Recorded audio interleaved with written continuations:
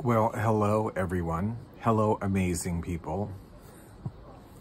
I've been following somebody on Instagram who says that at the beginning of every thing. Hello amazing people. Um, we're here at the Cheap Lounge. I got here a little bit early. I already had one drink. I'm having another in my Fisherman's Wharf mug from the former uh, Fisherman's Wharf here in Hawaii. Welcome to the Cheap Lounge. This is where we discuss inexpensive records and some CDs that I have uploaded onto my easy listening online streaming radio station, Moody Mood Music on live365.com, which is linked below that you can listen to anytime. Now, normally we discuss the records that I uploaded this week. Um, however, as you may or may not know, I've been off the island for the past month of June and I was doing some traveling and things and stuff and visits and pageants and whatever. But I'm back home now. And so I'm actually gonna, we're gonna discuss the records that I uploaded the week before I left because I was gonna do a video on them, a cheap lounge, and then I didn't get a chance. So we're gonna pick up where we left off. So grab yourself a cocktail, happy hour, a cheap one. This is the cheap lounge. Actually, I guess since I've been gone for a while, it's kind of celebratory today. So you can get an expensive foofy one if you want to.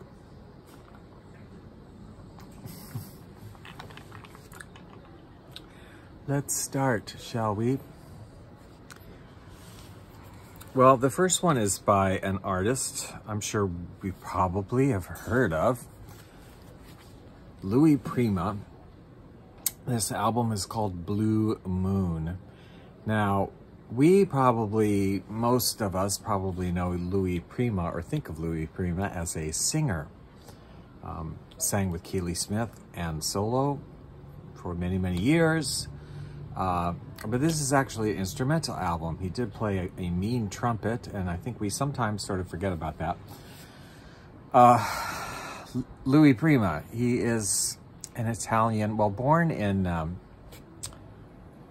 I think born in the States, but um, of Italian, Sicilian to be specific, uh, descent and really was known in the beginning, got his start in New Orleans with New Orleans jazz, type of jazz music.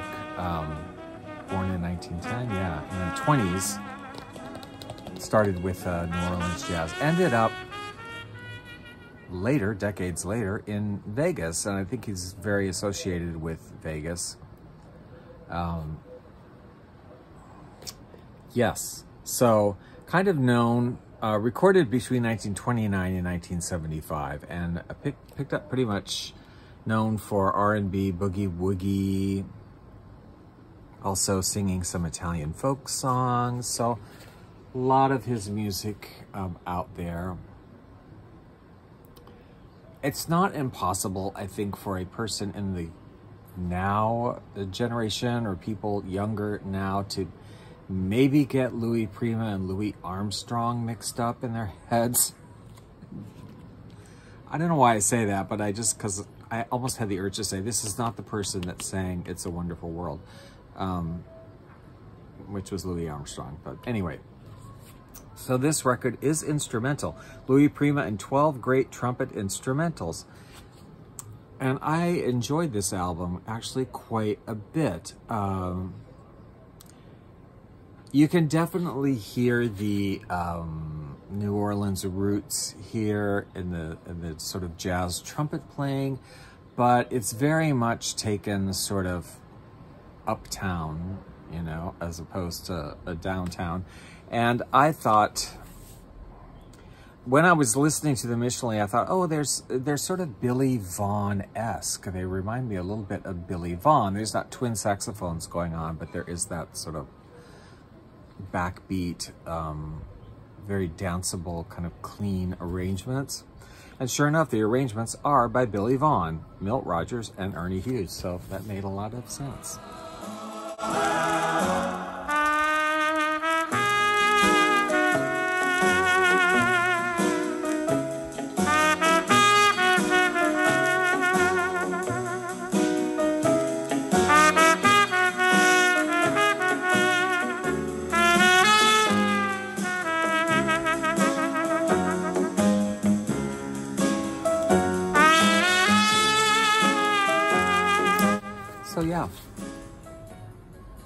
Louis Prima, Blue Moon, we like it. It's kind of an interesting record, I have to say. If you uh, are a follower or appreciate the Ink Spots, the uh, vocal group called the Ink Spots, quite popular back in the day. We're talking, um, what, I don't even know, like what, 1930s and 40s and 50s or something. I mean, like quite a bit, quite a while. Um, their lead singer, I guess you could call him the lead singer of the Ink Spots, was somebody called Bill, Bill Kenny. And this is a solo album post Ink Spots after they broke up. Um, and there were several changes of membership and a lot of confusion over who had the rights to use the name The Ink Spots. There were some lawsuits. I'm not going to get all into it, but it's possible for you to find budget label recordings and other recordings by groups, different groups of people calling themselves the Ink Spots, who maybe had one member from the original Ink Spots. And anyway, anyway, Bill Kenny sings the golden hits of the ink spots. Can say if I didn't care, would I feel this way? If this isn't love, then why do I thrill? And what makes my head Now, what I found interesting in, in researching a little bit about this, because I honestly didn't know, but uh, he, Bill Kenny was considered the most influential high, one of the most influential high tenor singers of all time. I did not know this. Um, born in Philadelphia in 1914, I believe died in 1978. Uh, lead tenor for the Ink Spots had a successful solo career uh, afterwards. Now, this album, what I find interesting about it, I don't know if you're familiar with the Ink Spots, but they sort of had a formula for a lot of music where uh, Bill Kenny, or the lead tenor, was was the lead. The other members singing uh, harmony backup, and then they would have during an instrumental bridge, a very deep voice person would give a recitation. You know, like I knew you didn't love me when you walked out the door, or whatever. Um, they do some of that in this record, which is odd because there is no of this like bass singing person. Um, it's Bill Kenny doing some of those uh, recitations during the instrumental bridge.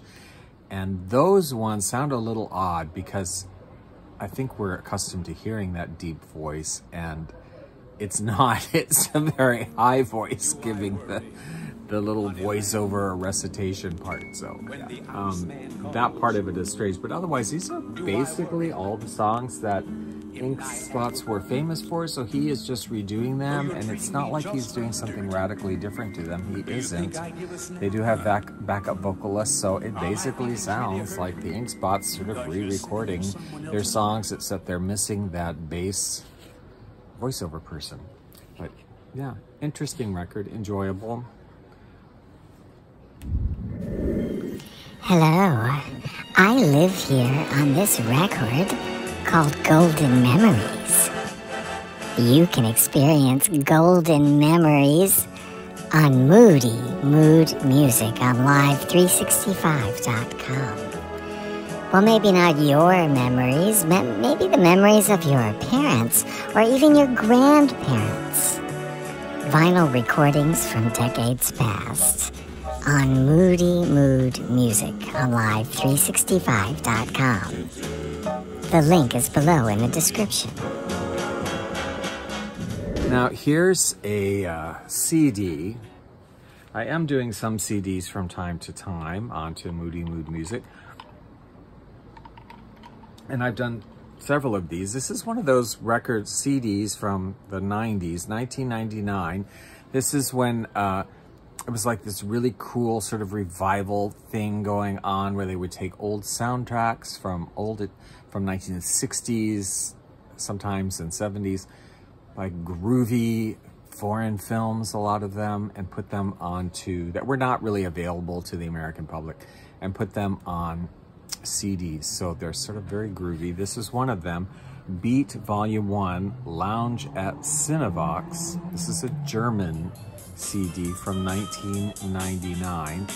Um, some of the songs, I'll say, you know, a little too groovy, a little too go-go to be included in Moody Mood music, but some of them spot on, sort of very cool bossa novas or um, just cool, having a cool sound to them.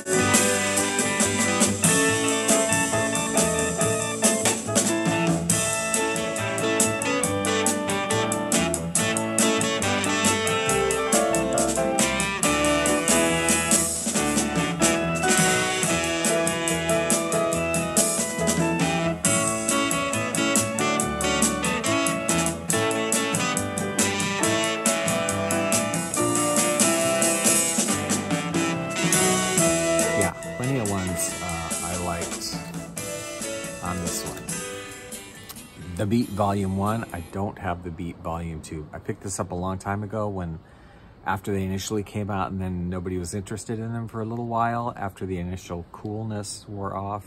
And I should have bought 5 million and I didn't because they were selling for next to nothing and now they're kind of expensive again because people think they're cool again. Here's a record that I can't really tell you very much about. I kind of tried to research the artist a little bit and very much, so I don't know. The record and the group. Classic, actually, very classic, easy listening. Um, this record is called a Dancing Violins by the Dancing Violins.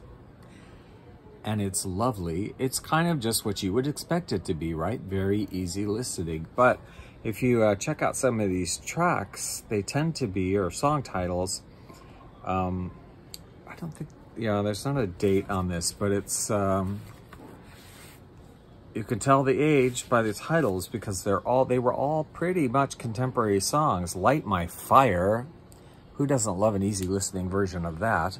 I Say a Little Prayer, It's Not Unusual, Mission Impossible theme, What Now My Love, yeah. And I, what surprised me, uh, this is produced, I should say, by Snuff Garrett. Tells you a little something. So Snuff Garrett, Tommy Garrett, of the 50 guitars of Tommy Garrett. So it's that era for sure. Um, what uh, I, I particularly enjoyed about this record, though, is that they took all of these contemporary songs and they somehow managed to, while still sounding sort of contemporary, they definitely, they definitely took it to elevator level. I mean, this is pure elevator music.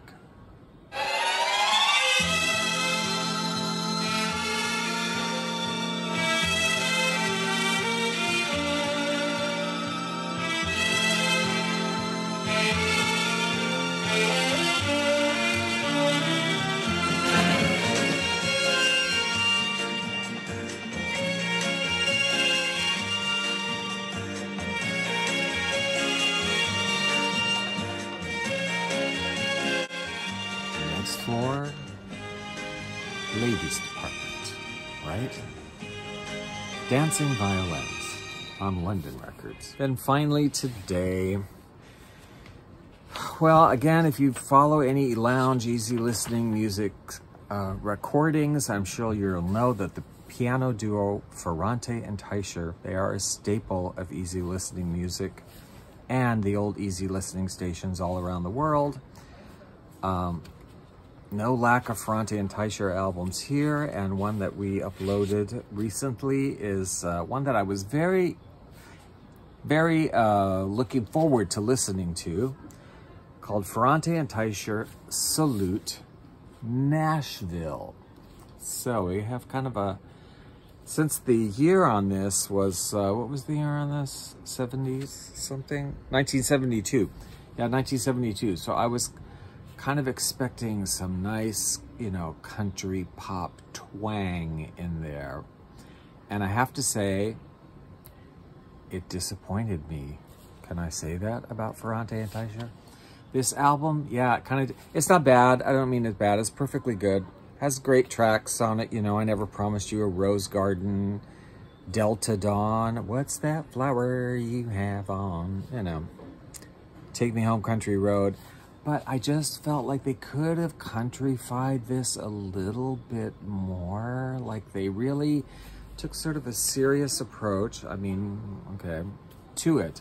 Now, their um, Ferrante and Teicher piano duo, Louis Teicher from Wilkes-Barre, Pennsylvania, not a great distance from where I was born, uh, Arthur Ferrante from New York City. And uh, they were also known for doing some sort of experimental sounds at some points with the pianos, um, doing like mallet sounds and chime sounds, sticks, putting things on the strings to affect the sound of the piano. But then they also did a lot of just straightforward, loungy, easy listening stuff as well, especially later on as they went on in their career. But yeah, this one, it's okay, you know. I mean, it was a dollar, it's okay, but I wouldn't put down a lot of money for it just because I felt like it could have been a little bit more, a little bit more country.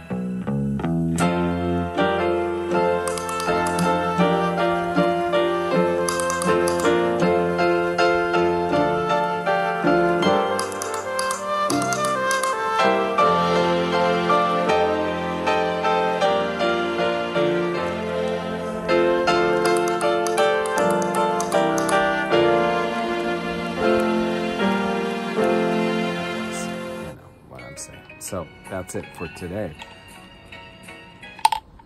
Thanks for watching, you guys, and um, give it a thumbs up if you like it. Stay tuned for more. Check out Moody Mood Music if you want to. And something else I want to say, um, looking look forward to or dread something I'm going to do on Moody Mood Music, which is I'm going to do uh, Christmas in July. I'm going to take the week before July 25th, and I'm going to program some Christmas music into the playlist. Not a lot. It'll be like two, like four in an hour, two and a half hours, something like that. And then we'll end on January 25th with 24 hours of all Christmas music on July 25th instead of December 25th. I don't know. I just thought it might be kind of fun. I love Christmas music and why not? Why not have Christmas in July, you know?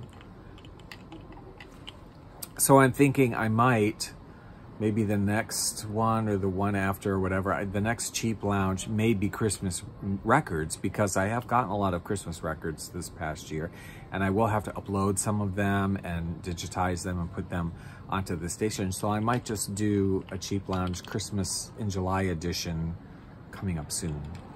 Maybe the next, though not the next one, but the one after maybe. I don't know. We'll see. Give me your thoughts on that anyway. So thanks for watching. Um, we will talk to you guys in the next video.